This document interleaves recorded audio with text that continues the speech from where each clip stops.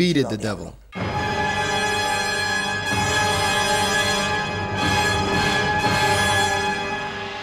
Master Lucifer, I acknowledge you as my God and Prince, and I promise to serve you and obey your will for as long as I shall live. And if I ever fail to serve you and adore you, and if I fail to honor you thrice a day, I give up my life to your benefit.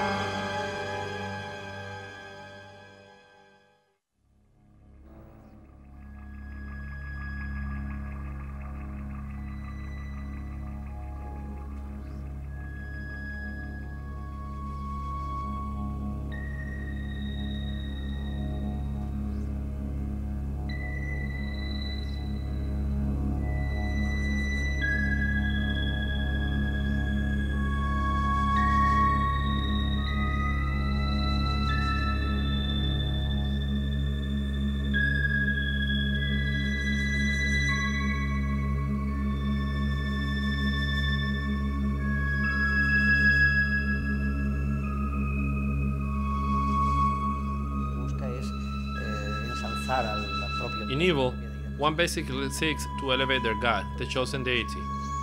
Es eh, un concepto que no aparece. The concept of Satanism does not really appear before the annals of the Inquisition, when it conducted tortures, confessions under pressure, and all sorts of vexations. sacadas bajo toda clase de presión, toda clase de vejaciones. Cuando It is then when we start to have a written document, a historical record of what Satanists must do. De qué es lo que un satanista debe hacer. A partir de ese From that point on, to someone who wants to become a Satanist, it is very easy to know how to do it, simply because there is a manual book.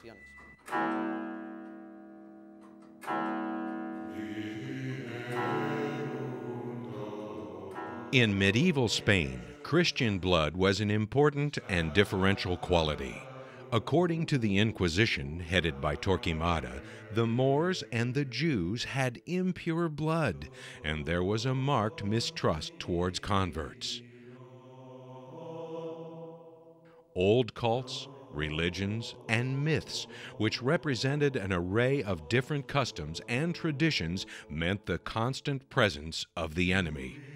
Within these walls, a life always dark, reserved, and incorruptible to the eyes of everybody. It was created to be the most efficient machine of political and religious oppression in history. As much as the presence of the devil was a constant, a malicious character expelled to hell, it also allowed a challenge to fight within mankind in order to defeat their weaknesses. As always, good and evil developed the bloodiest battle. If anyone was to represent the highest form of the devil to the inquisitors, that was the woman. She was the perfect tool that the demon could count on to deceive men. His first task was to mislead her towards his side. The rest was easy. Men would inevitably fall into her clutches.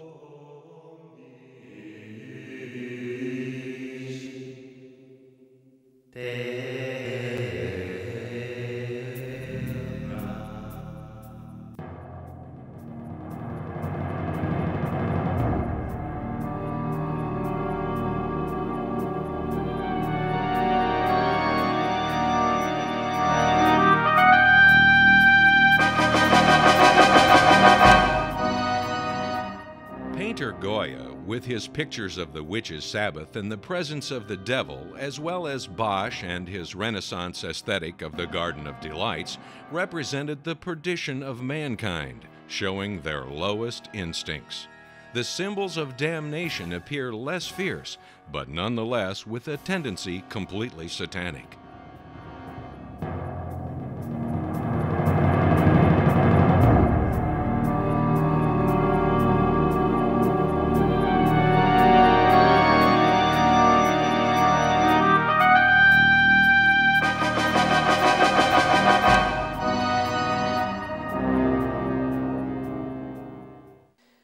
The Inquisition, in my opinion, marks a turning point of what we call Satanism.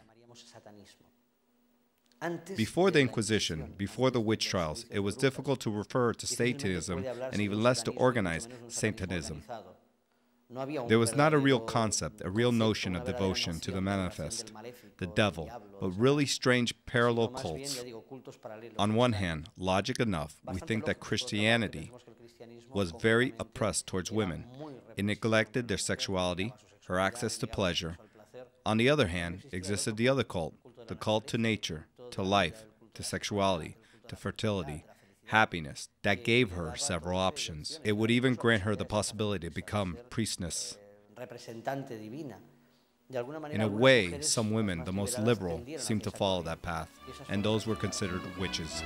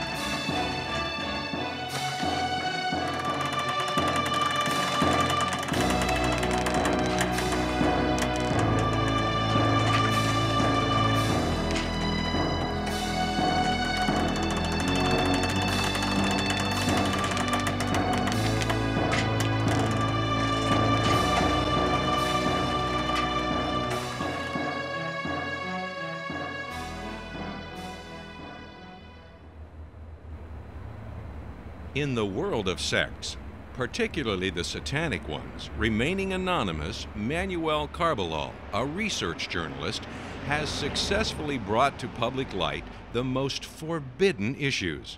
Camouflaged, he has been able to infiltrate several sects and can tell of his experiences.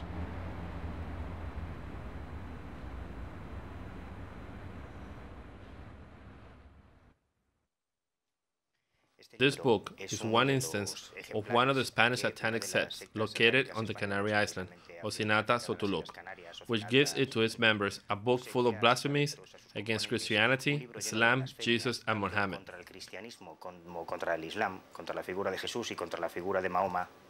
Escrito, según nos confirmó en su día la brigada de la According to the Spanish Scientific Police Brigade, each page is handwritten with blood for each adept of this satanic sect. de los adeptos de esta secta satánica. Este libro es uno de los This book is one of the products that Osinata Sotolog circulates using a distributor of blasphemous products in which we can find astonishing works such as images of crucified Jesus with a pork head, lamb head, images of Virgin Mary with penis, banners, teachers. It even produces musical LPs, black metal, thrash metal, with apologetic lyrics of the anti-Christianity.